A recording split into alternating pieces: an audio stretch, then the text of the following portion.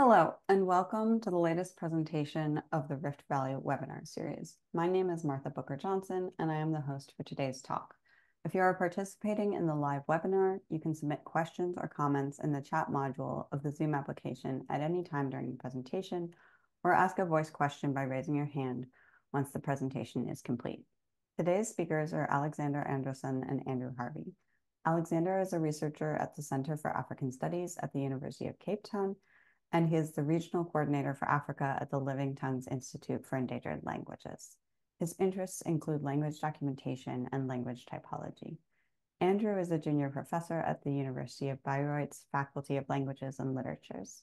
His interests include the languages of the Tanzanian Rift, their documentation and description, their morphosyntax, and the histories and cultures of their speaker communities, especially as evinced through linguistic arts and language contact. Please join me in welcoming Alexander and Andrew as they give their talk, Interjections in Gorwaa, Examining Instability. Thank you very much, Martha, and thank you so much for, for everyone for attending this talk and having us here. Uh, so this talk is dedicated to the issue of the formal instability of interactives. Interactives are constructions that provide insights into how speakers conceive themselves in the world of social communication. They are defined as invariable deictic forms that are set off from the surrounding text semantically, syntactically, and prosodically, and can neither be negated nor questioned. The class of interactives includes uh, attention signals, directives, discourse markers, evaluatives, ideophones, onomatopoeias, interjections, response solicitators, response signals, social formulae, vocatives, and conative animal calls. The list is quite long. While claimed in several studies, the formal instability of lexical classes of interactive grammar and the extent thereof have not been demonstrated empirically in a systematic manner. To address this gap, we study one category of interactives, namely interjections in Gorwaa. Interjections are operationally defined as uh, lexical construct lexicalized constructions that express feelings and sensations experienced by the speaker and are usable or can be used in a holophrastic manner, meaning as non-elliptical utterances. Let me now allow Andrew to introduce the heroes of our talk, the Gorwaa people and their language. Thanks, uh, Alex.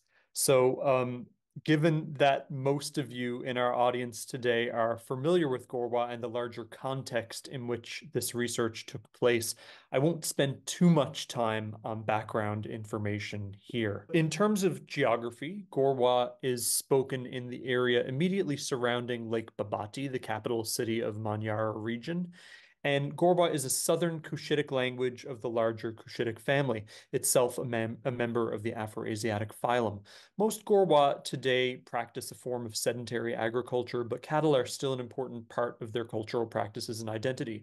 Gorwaa is spoken by around 133,000 people, but due to several factors, including massive demographic changes, restrictions on domains of use, and attitudes towards the language itself, Gorwaa should be considered an endangered language. In terms of uh, the research itself, uh, in short, no previous work has looked at the phenomena we will be looking at today in Gorwaa. Again, this won't come as a surprise to the audience of today's talk. Looking at the Rift Valley Network's online library of materials on Gorwaa, the totality of available works that mention the language in any substantial way is less than 30, with much of this existing as unpublished manuscripts or more recently, presentations given here at the Rift Valley Network. I give less than three pages to ideophones in my doctoral dissertation, but what we will be looking at today is entirely different from this. According to the definition we provide before, interactives are invariable in the sense that they, they do not alter their form depending on the position in a sentence. They are uh, indeclinable, uninflected, and do not contain affixes or morphemes other than the root itself. However, interactives are also unstable, flexible, and mutable. This instability is much more pronounced in the interactive part of grammar than what characterizes the lexical classes of sentence grammar, such as verbs, nouns, adjectives, adverbs, etc. Although the extent of this instability may certainly be different in different categories of interactives, uh, it seems to typify interactive grammar in its entirety. Interjections, the protagonists of our research, also seem to be phonetically and morphologically unstable. This has been observed in Xhosa, Maasai, Korean, Polish, Hebrew, Aramaic, Ugaritic, and several other languages. Nevertheless, although the formal instability of interactives in general and interjections more specifically seems beyond doubt, the qualitative and quantitative extent of this, as well as the characteristics of this instability and the mechanisms underlying it, have been studied neither in a detailed nor systematized manner. Our talk today and the article that we wrote with Andrew respond to this knowledge gap by dealing with instability issue specifically and systematically. The operationalized definition of interjections is largely simplified. More appropriately, the category of interjections is viewed as radial network of internally diverse exemplars that are organized around an interjective prototype. The prototype is defined cumulatively and in addition to the features mentioned in the operational definition I mentioned before, is characterized by, by a set of functional and formal properties. Interjections attested in a language or across languages exhibit, of course, a varying extent of similarity with the prototype. Items that fully comply with the prototype are canonical and placed in the center of the category, as you can see in this picture. In contrast, items whose compliance is minimal and uh, uh, are non-canonical and populate the category's peripheries. As a result, the category emanates from its nucleus, exemplified by the prototype, to the margins where it gradually transmutes to, uh, into other categories. The key element in this radial network, of course, is the prototype. Given cross-linguistic data, both synchronic and diachronic and cognitive evidence, scholars have proposed a, a, cum a, cumulative set of prototypical interjective features, semantic, pragmatic, phonetic, morphological, and syntactic. Here, I mention properties related to phonetics and morphology, since only these are relevant for our study. Phonetically, prototypical interject a prototypical interjection is monosyllabic, make, makes use of vocalic material, which also includes guttural and palatal approximants, allows for extra systematic sounds and sound combinations, and is accompanied by marked phonation. Morphologically, a prototypical interjection is monomorphemic, with no inflections, no derivations, or elements added via compounding, and it is overall opaque, lacking any specific morphological traits that could identify it as a member of the interjective category. Given the framework adopted in our research and the scope of our study, we wanted to respond to the following research question. Are interjections in Gorwaa formally unstable? And should this be the case, what are the characteristics of this instability? To confront this question, we determined the respective contributions of shared or panlectal uh, interjective tokens and idiolectal interjective tokens to the total pool of interjections and studied the properties of these two subclasses. Data on interjections is elusive. And what I mean by that is because of their very nature, they do not commonly uh, occur in careful speech, the kind of stuff that people might produce if you have a recording device in front of them. And they're often not incidentally produced in context in contexts such as elicitation. Um, in addition to this, developing a corpus of natural speech large enough for the systematic study of interjections therein is a massive undertaking. And as such, the approach that we've used in the past and continue to develop is kind of a form of targeted elicitation.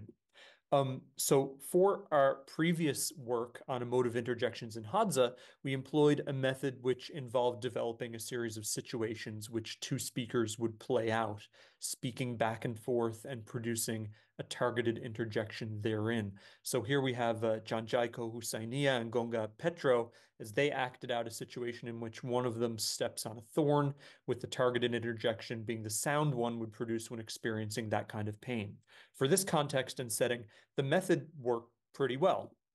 For Gorwaa, on the other hand, I found that this kind of setup wasn't as effective.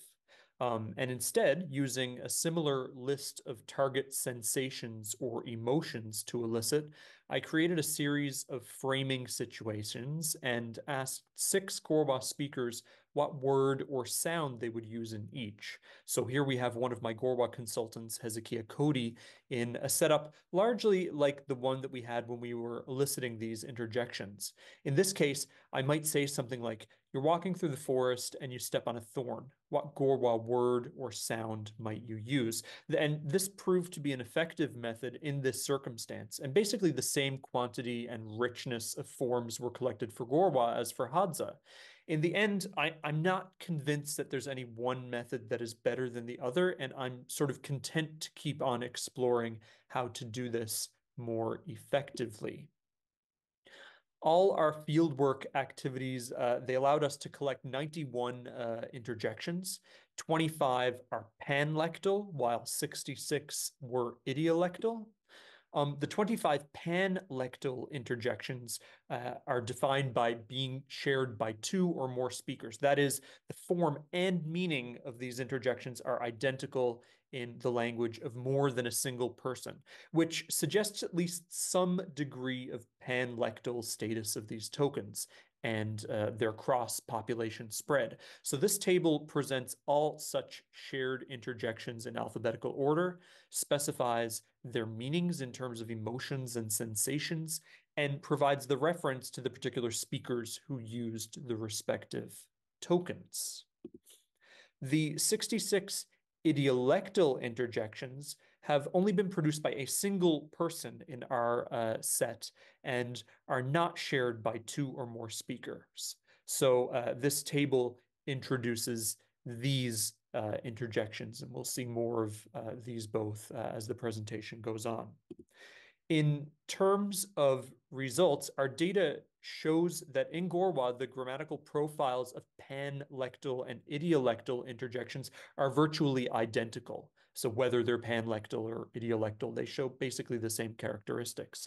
This similarity is evident despite the disproportion characterizing the two interjective classes. So 73% of interjections are idiolectal, while only 27% are panlectal, that is, are shared and uh, the different extents of access to idiolectal tokens by the individual speaker. So the most creative speaker uh, had about 36 of their uh, individual idiolect uh, interjections were actually idiolectal. So 36% of the interjections that they produced uh, were um, uh, produced uniquely by them, while our, let's say, our least creative um, participant only produced 10% of uh, interjections that weren't shared by at least one other speaker. So only 10% of their interjections were um, idiolectal.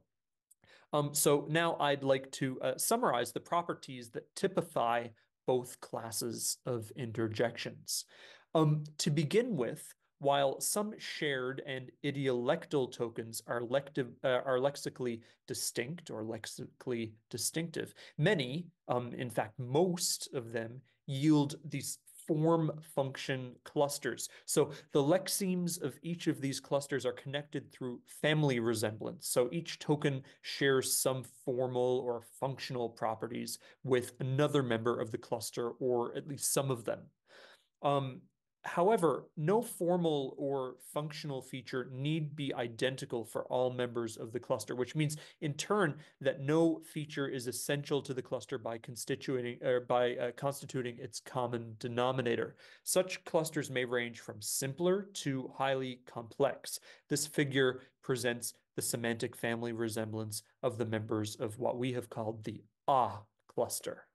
Yeah, uh, regarding phonetics, uh, the majority of shared and idiolectal interjections are monosyllabic or are built around monosyllabic segments.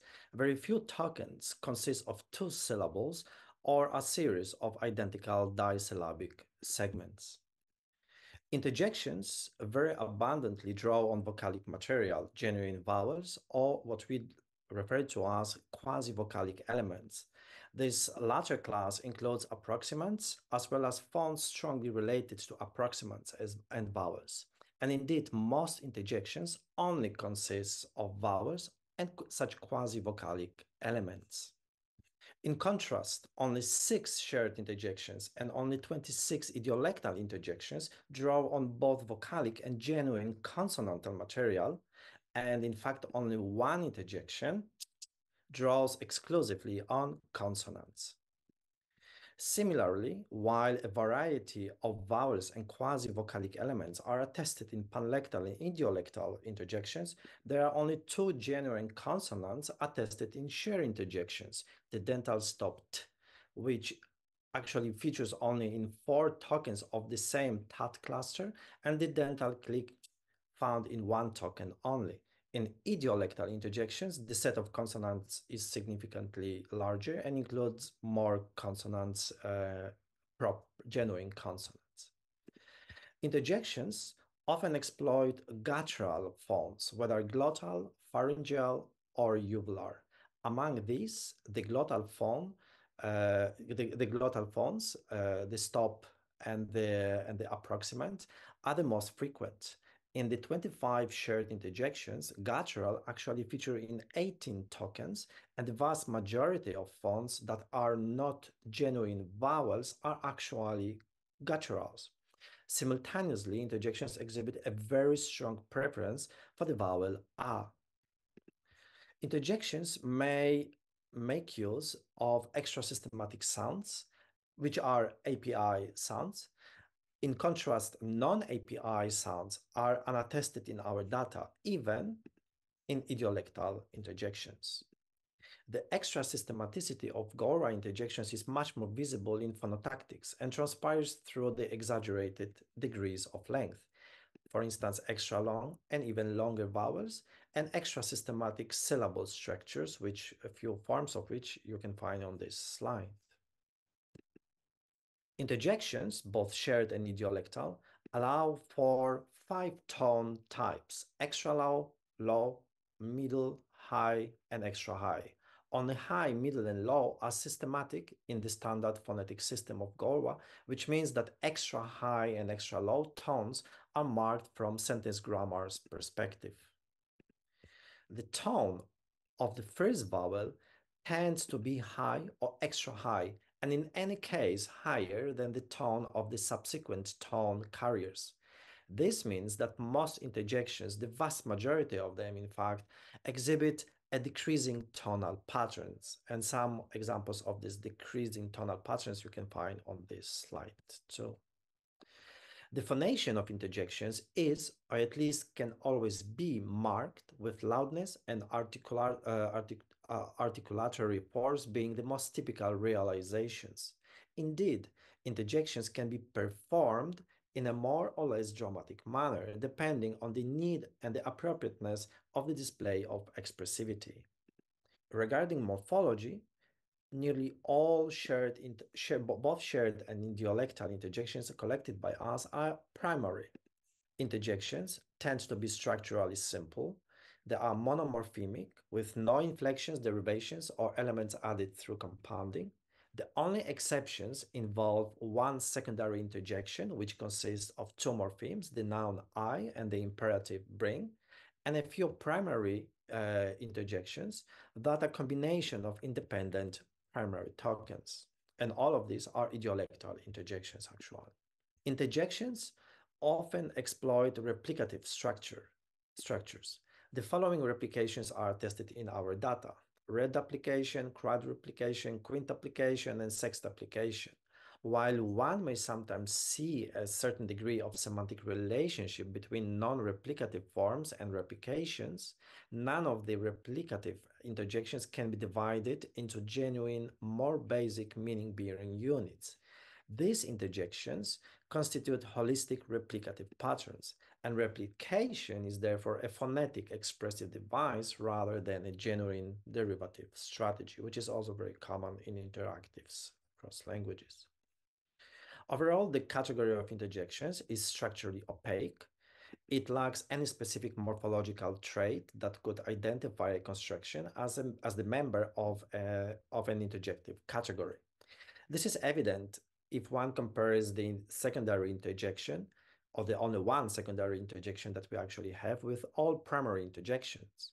It is, however, also patent through and among primary interjections themselves. Certainly, morphological simplicity itself could be regarded as a characteristic of at least primary interjections. But simple morphology or morphomorphemic monomorphemic structure is certainly not limited to interjections in Gorwaa, but also characterizes the other categories of interactive grammars. Grammar. The, this, uh, the same applies to replications, which are not restricted to interjections, but appear in several interactive categories as well. Although this similarity of shared and inter in idiolectal interjections uh, is clear, which we explain now, two minor differences can be identified.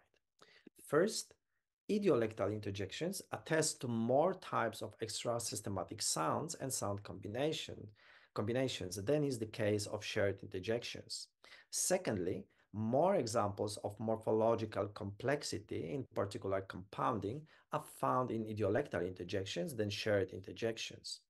Although these differences may simply be due to the larger number of idiolectal tokens collected in our study, they may also reflect the inherent developmental dissimilarities of idiolectal and shared tokens.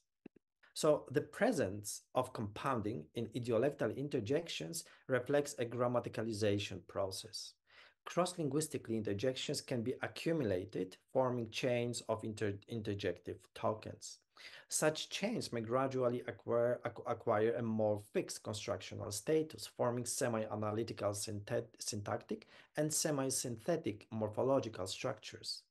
Since grammatical novelties are first coined idiolectally, from where some of them spread across large, a larger number of speakers and become more entrenched and stabilized across the population, one expects to find more interjective compounds in idiolectal interjections, and this is exactly the case of Gorwaa. Similarly, the greater visibility of extra systematic sounds and sound combinations in idiolectal interjections stems from the lesser tameness of idiolectal construction than uh, that is uh, that is they lim limited much more limited adjustment to the grammatical norms of the language and inversely an incomplete loss of expressiveness with the entrenchment of interjective tokens and the spread across population this expressivity generally decreases. And since grammaticalization is correlated with the increase in frequency, one of the reasons and exponents of which is exactly the spread of a construction across speakers, tokens shared by a number of speakers are expected to be more grammatically integrated and tamed. In contrast, idiolectal tokens are expected to be more expressive, less tamed, and characterized by a greater degree of extra systematic systematicity, exactly as we see it in our Gorwaa data. All of this suggests that even though we studied share, shared and idiolectal interjections as distinct classes, these two sets should not be viewed as discrete or disconnected.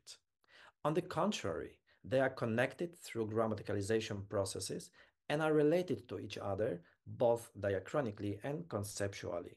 They differ in the extent of their entrenchment and spread across Gorwaa speakers, and as the consequence thereof, the extent of grammatical tameness and an inverse loss of expressivity. Overall, our data demonstrates that the Gorwaa interjections are highly unstable. This instability stems from two main phenomena. Firstly, the larger number of idiolectal interjections, which is characteristic of Gorwaa speakers, suggests on its own that interjections are prone to mutations. Individual speakers easily create new interjections, either by forming them by analogy to the patterns that exist in the language, or by modifying such existing patterns.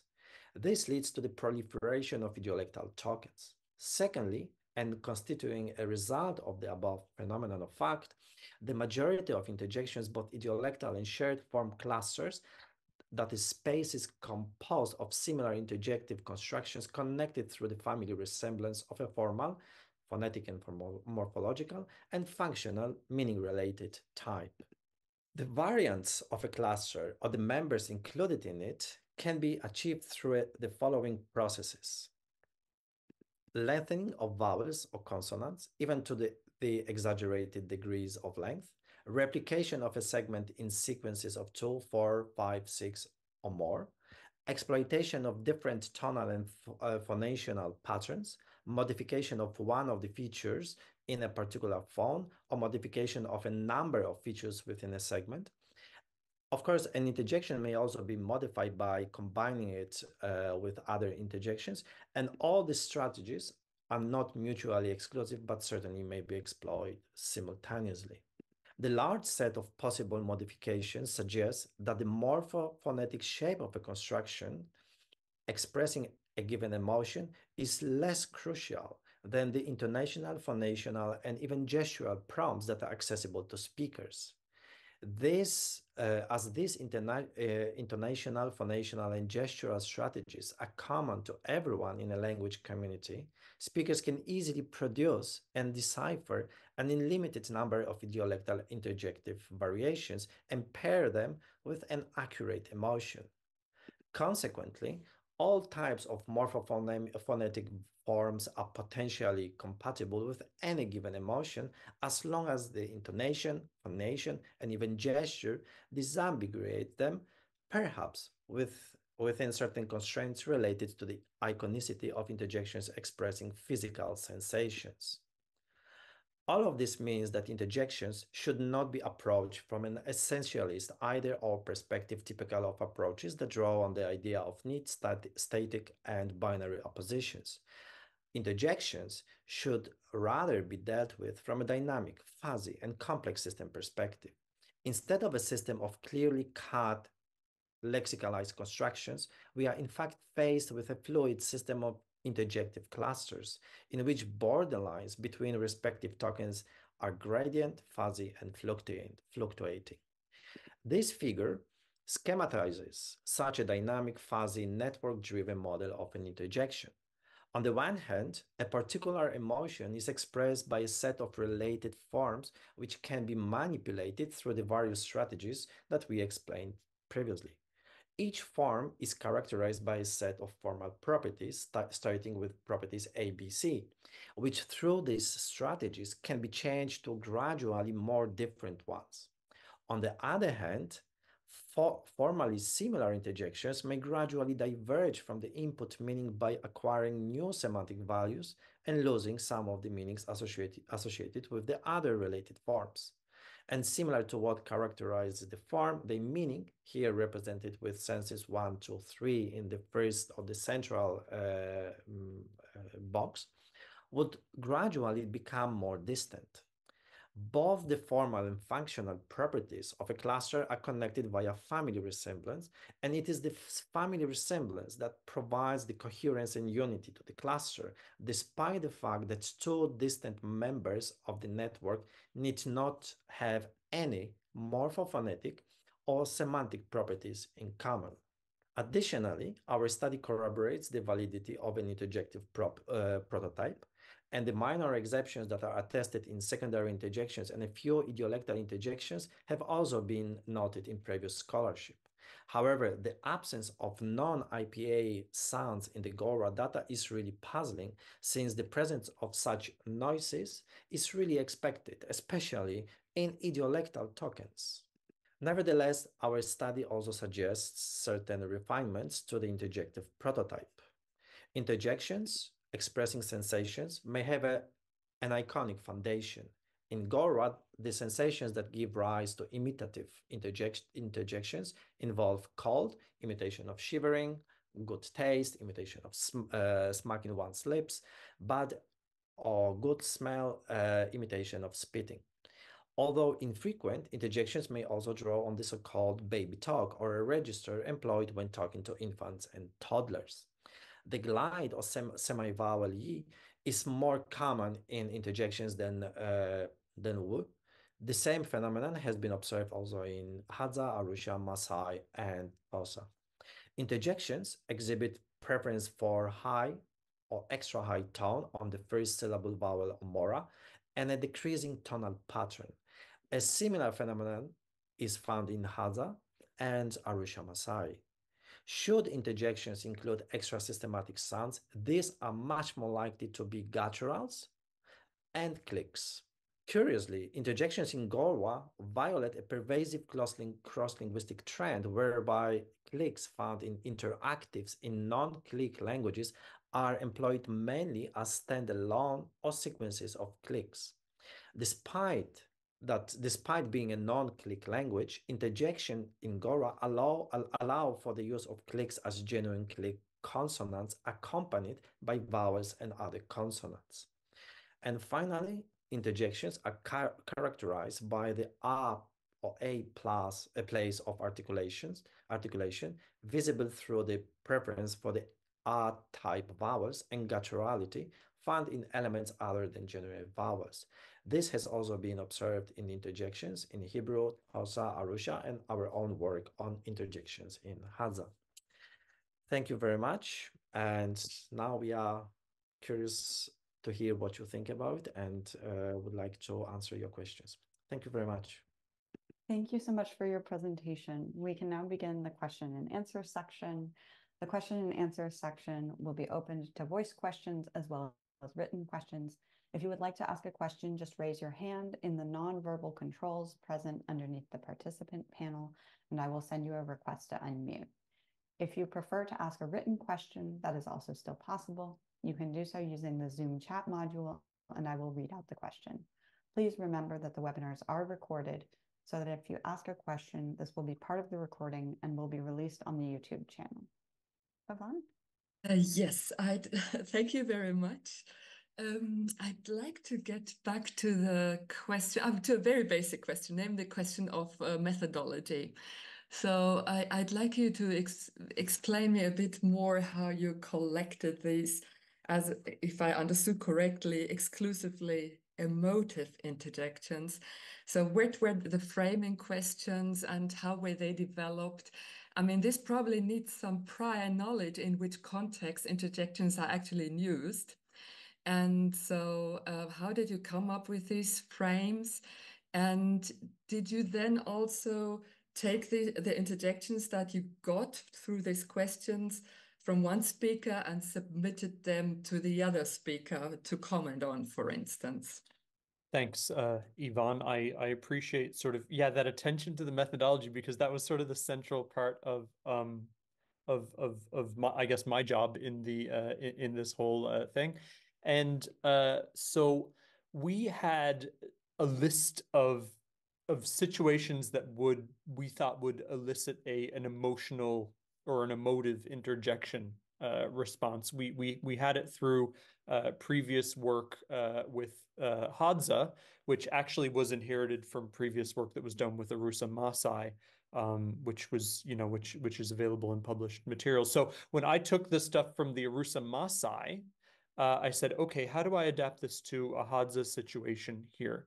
What sort of what sort of daily activities would be occurring that might that might elicit an emotive interjection response here. So um, you know, uh, I I agree that like a lot of it was actually sort of just making it specific to sort of the everyday universe that Hadza people might um, live in, and so then uh, I basically, having done that, I, I, I took that and then I said, okay, well, well, how do we adjust this uh, for a Gorwaa um, uh, context.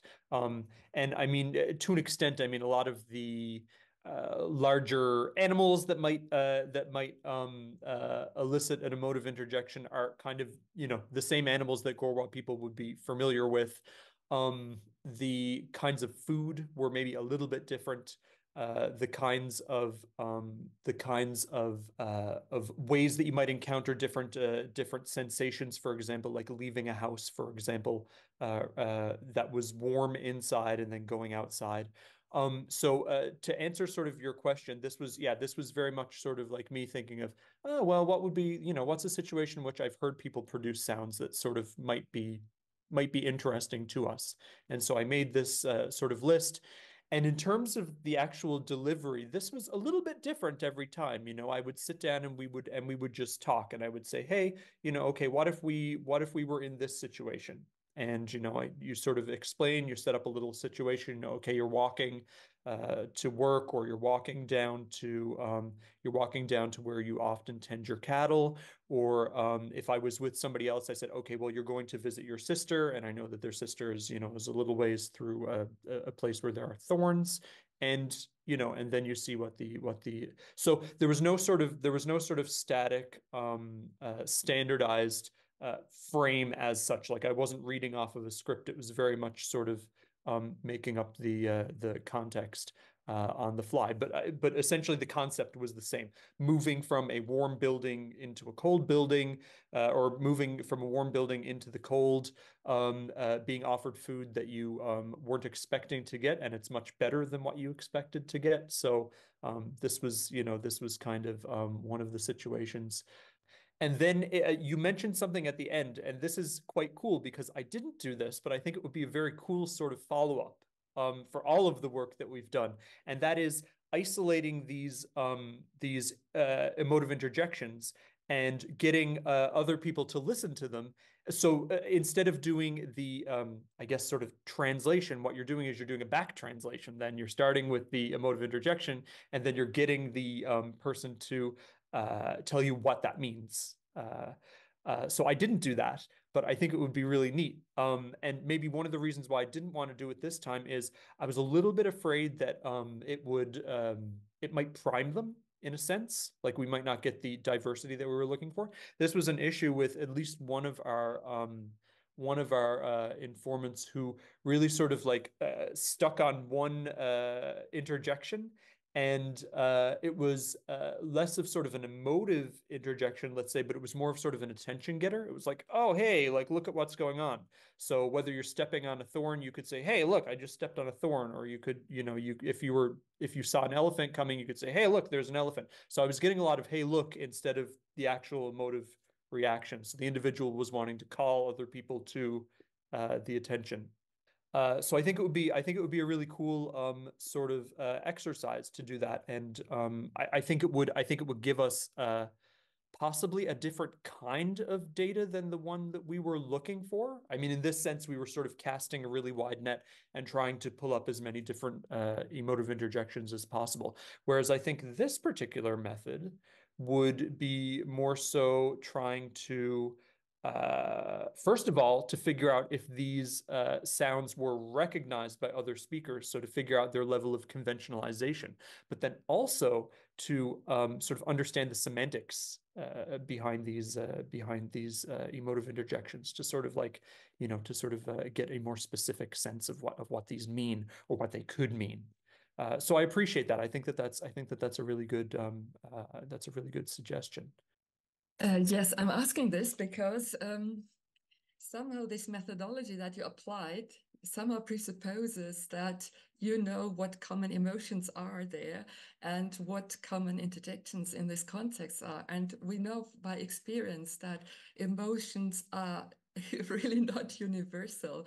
And so this other way back shows you that maybe one is I mean, that, I mean, you gave a frame and you got an interjection, but that this interjection is used also in much other frames, or uh, that's, that's why I ask. So there's the risk with this methodology that you are actually, uh, I mean, you are really delimiting your, your, uh, your area very much. Uh, and um, yeah, and by asking back others, you might get much more messy data than you have collected in this way.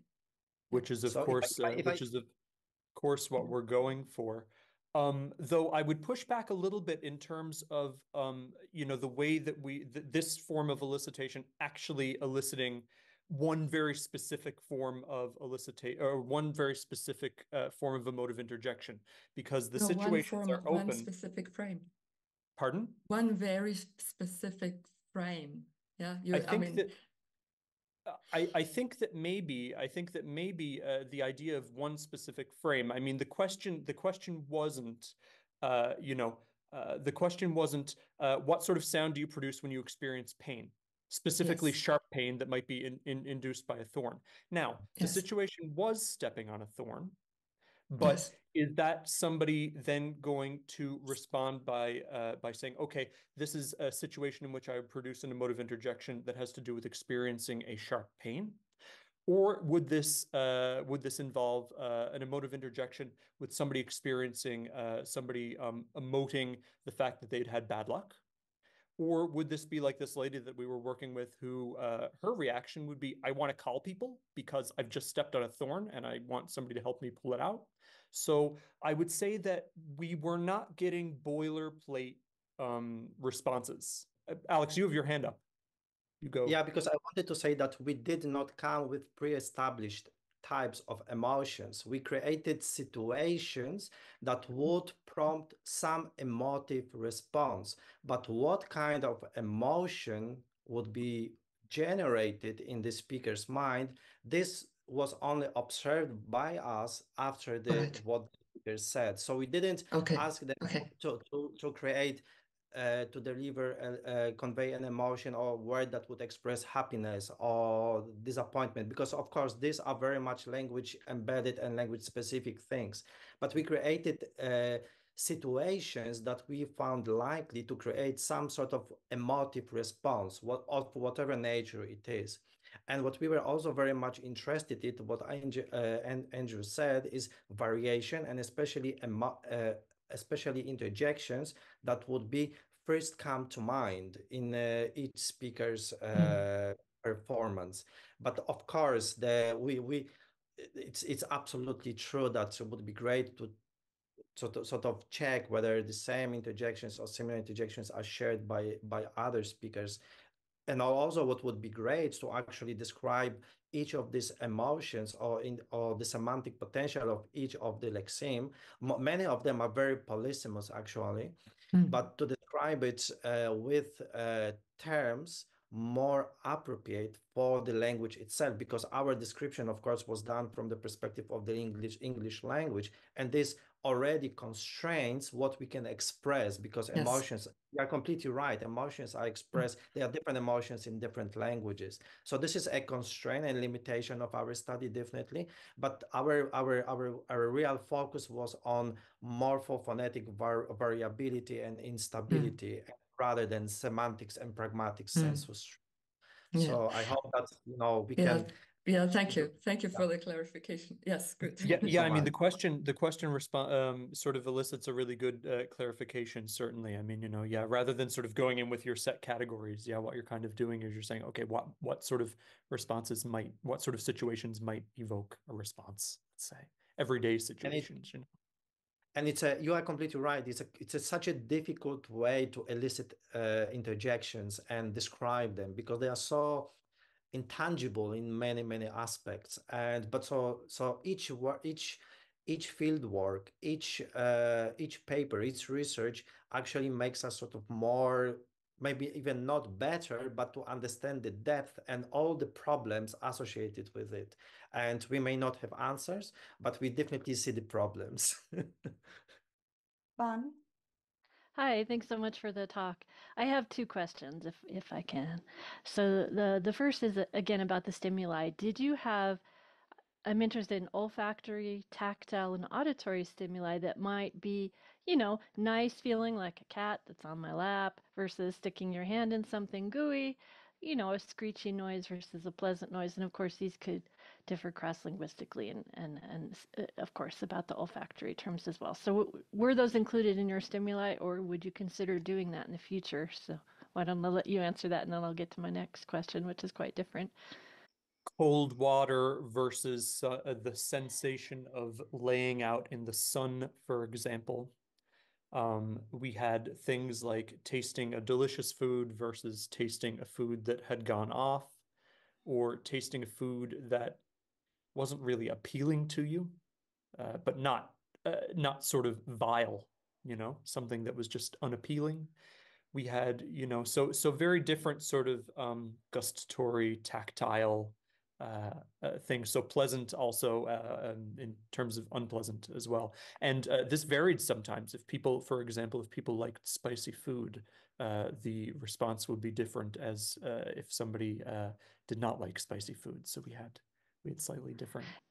I was thinking about how I could, you know, somebody, I saw someone tasting something, I could say yuck or yum, that I could actually put question intonation on that interjection in English, you know. uh, so my other question is is um, different. Uh, did you uh, transcribe or categorize if someone took an in breath, like you know, it could be a quite silent in breath. Now, you could transcribe that as a voiceless ah, for instance, but I, am wondering if some of these ahs might be a lexicalized form of just a an in breath.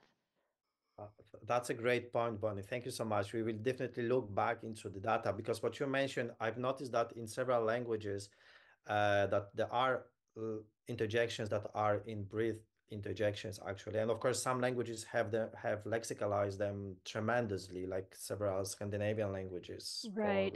and, and i'll definitely want to see that in your paper. So we, we can we can double we can check it again. Yeah. Mm, that's a yeah. great point. Thank you um, could you talk a little bit more about this clustering process that you did how that worked and what sort of parameters you were using to make those decisions so here each uh, circle is actually an interjection that has a form uh, that is somehow similar to its adjacent neighbor. And they also share the squares, then show this sort of semantic potential and there is overlap in meanings.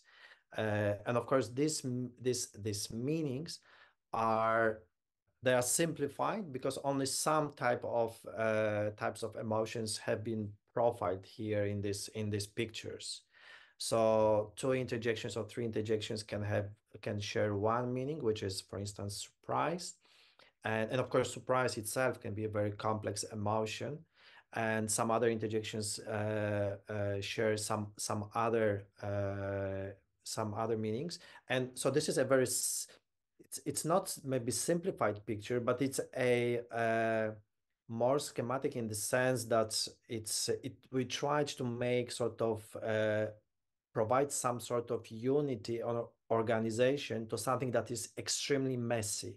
So this mm. is definitely a polished up or, or really like like like like all yeah over neat uh, picture of because e each of these interjections has of course a semantic potential that it's very difficult to puzzle them into this coherent semantic map or that would be connected via family resemblance. So so yeah so i mean the messiness is just tremendous and we were trying to put some some type of order into this mess yeah that makes sense my question is so how did you decide what was and wasn't um, phonologically similar, and how did you um, analyze what the emo- emotions that were attached were and how those related to each other? So in, ter- in terms of emotions, we tried to to to draw on the largest categories possible because the larger a category is, the uh, let's say the le- the less problematic it is from a language uh, like language internal perspective. From from my research, I, I, I it looks like uh, if you if we zoom in and narrow an emotion to a very specific emotion type, then it's very difficult to or more difficult to find it clearly defined or like distinguished cross linguistically, and so here the, the clustering is may, mainly organized around different emotions, uh, emotion types that are shared. So here this clustering does not take into consideration strict similarity between uh, between the adjacent forms. We just grouped all the interjections that that look similar and have some similar meaning and try to via meaning connect them to each other forming this this this semantic map but of course other clusterings are possible because this is just a mental map that brings some sort of order to a to, to messy data. So this is not something that, of course, exists in speakers' brains. We don't claim that. It doesn't it doesn't reflect a diachronic, uh, let's say, spread of one interjection to another interjection. It's just sort of a mental map trying us to make, yeah, make sense of this. Uh, of, of, of this mess of interjections that are similar but yet distinct.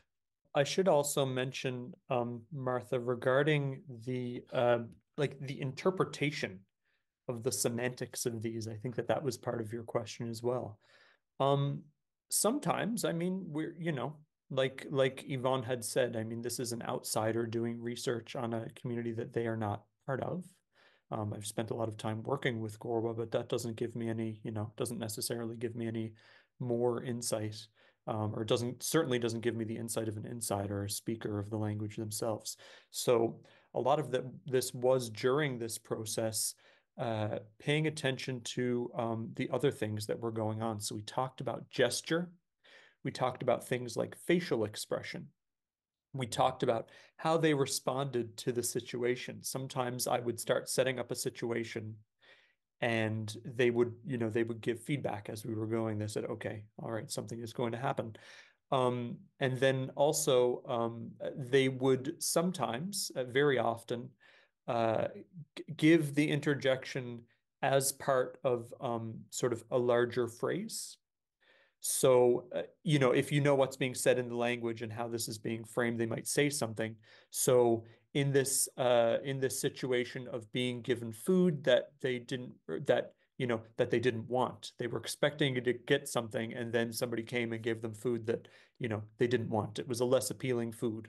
You know, you've asked for barbecue and you get porridge or something, right?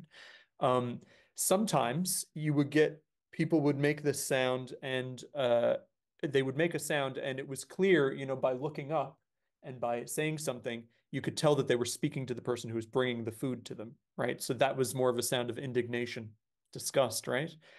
Other times you might see them looking down, you know, and they might be speaking at a sort of a, uh, a, a quieter and a quieter sort of voice. And this to me is like, you know, they're sort of speaking to either the person sitting across from them at the table or they are alone, right? And this is sort of part of, you know, them thinking about themselves. Oh gosh, like this is, you know. Uh, so you could get a lot of this, and so this involved sort of note taking as as these things were being uh, were being produced, and also listening to what they were saying afterwards. Are they speaking to a to a person bringing them food? Are they speaking to themselves? Are they speaking to their their their seatmate like what what's going on here? Are they yelling out to to their sister who lives down the road? Like what what's going on? So this you know it's all of these clues. We talked about how this is sort of a rich experience so how do you interpret these clues? Uh, and that sort of gave us ideas about what these things might mean. Go ahead Yvonne. okay so i um you said you have a 91 token so can you give me an idea um, how many of these um, interjections that you got uh, in the way you, uh, you, you did now are attested also in uh, I mean in other recordings that you had done before where you were not specifically targeting interjections or how many of these are found in the lex lexical existing lexical documentation I'll uh, embarrass myself by saying um, when I encountered interjections in my lexical database, uh, because they're certainly there, um, I was rather sloppy. You know, I don't know if I was transcribing them exactly as they should. This was actually a really nice process because it forced me to to really listen and to say, oh, is this is does this have like a like a glottal stop at the end? Does this have a glottal stop? You know, uh, is uh, is this an extra? Is this produced with an extra high tone? Is this just produced with a high tone? What's the difference there? So this was a process of of sort of really specifying. And what I need to do now is I need to go back and actually re-listen to these um, to these uh, interjections that I have in the larger um, in the larger uh, corpus uh, of natural speech. Um, I should say that um, in no case uh, did I hear any interjections produced uh, during the solicitation uh, session that seemed wildly different from the interjections that I would hear in natural Gorwaa speech or being produced, like if I was sitting on the on the car in in the car or something like that. So um, nothing that was too wildly out there, but uh, that's a really good um, point, Yvonne, in terms of like a practical documentary approach. This is a nice opportunity now for me to go back and to um, check these elicited uh, um, uh, uh, or these provoked interjections, let's say, with the ones that were produced um, in narratives or in uh, in the natural speech that I've collected. So thanks for that. That's a nice uh, it's a nice reminder of the work that that remains. Michael? Thank you, um, Andrew and uh, Andrason, for your interesting talk. So um, I was wondering, maybe I missed this, uh, the difference, or is there any movement between uh, panlectal and idiolect um, uh, interjections? Are these mutually exclusive, or there is a kind of uh, panlectal interjection evolving into uh, a dialectal uh, interjection? Um, uh, and another one is uh, we, in other languages, we have borrowed interjections, and in most cases, these are secondary interjections. Uh, is this uh, the case in Gorowa as well? And what are kind of, from which language, for example, and what are the, you know, features of borrowed uh, interjections? Um, uh, at, at some point, you mentioned about decreasing tonal patterns. Um, uh, maybe um, a, a, little explanation about that. is it uh, you know, many patterns um, becoming fewer, or um, is it um, uh, lowering uh, tone pattern? And if it is lowering, of course, um, it doesn't this uh, um, or does this actually uh, specify some kinds of interjections that actually have a decreasing or lower tone patterns? And what are those kind of uh, emotions expressed by lowering or decreasing tone patterns? Thank you. I need to try something out on most of us who are sitting here uh, in terms of in terms of borrowing, but also in terms of this idea of tonal uh, uh, phenomena. What if I were to go, uh, uh, uh, uh, I'm sure that if I were to do that, or if I were to go tut, tut, tut, tut, tut, or poop, poop, poop, poop, poop, like those of us who have spent a little bit of time in this part of I, this, you know, this region, wider or smaller, however you want to draw it, I am sure that you have encountered something of this larger species, and I'm sure that you have a sense of what it means. Right? And I say a sense maybe inter- rather than a definition because I, I see you I see you grinning, Michael, because I'm sure that you got it. Like what this what this could be, right? Um, so then, so then you have to ask, okay, so so you have this, you have this sort of like, you know, you have this tonal frame, uh, and then okay, well, is is this a borrowing? Is this like a larger regional feature? Like like what is this? Um, uh, because like I wouldn't I wouldn't do it in English. Like it's certainly not it's certainly not part of my, you know, it's certainly not part of my interjective interjective repertoire, if you want to use that word, um, in English but it's certainly something that people would identify whether they're Gorwaa speakers or whether they're Hadza speakers or whether they're Swahili speakers, right? So is this borrowed? I don't know. I don't know. I think that that's a great question, though. Michael, you ask three questions. How is this possible? and very complex, you know.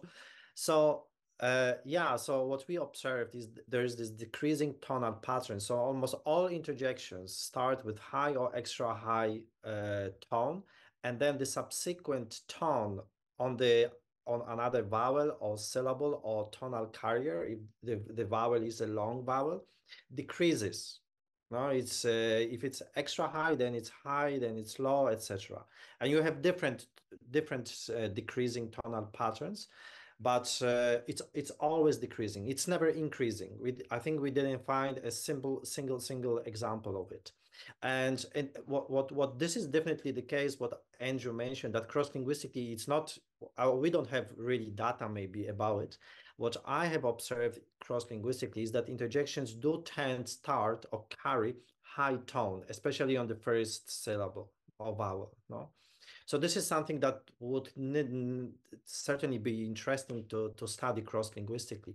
But uh, I think even in, in, in Arusha, actually, in our, our data also shows that most interjections have a high tone or carry high, to high tone. And that can be very, you know, they can, one, one can propose uh, iconic or cognitive motivation motivations for that.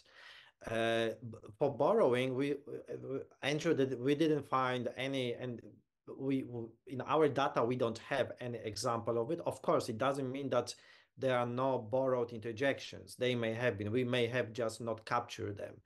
What and what is what was very interesting that almost uh, all interjections that we collected are primary interjections. There is only one interjection that is certainly secondary, and it's still definitely not the case that you know the, the, the language has only one secondary interjection.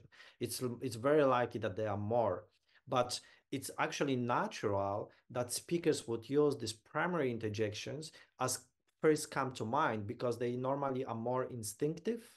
So, so, so, and that's what we were looking for in our elicitations.